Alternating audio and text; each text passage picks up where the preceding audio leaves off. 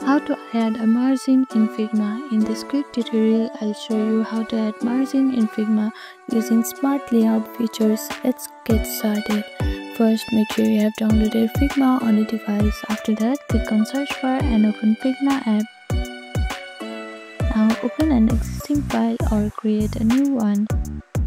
To apply margins, you will need to use auto layout.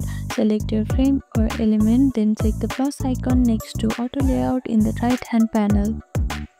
Simply click on this icon here.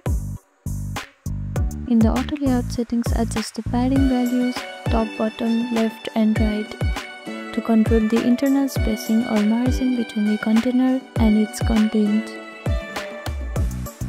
Or you can also simply drag it from the top or bottom and place it wherever you want. Now to create space between items inside the layout, adjust the spacing between items value.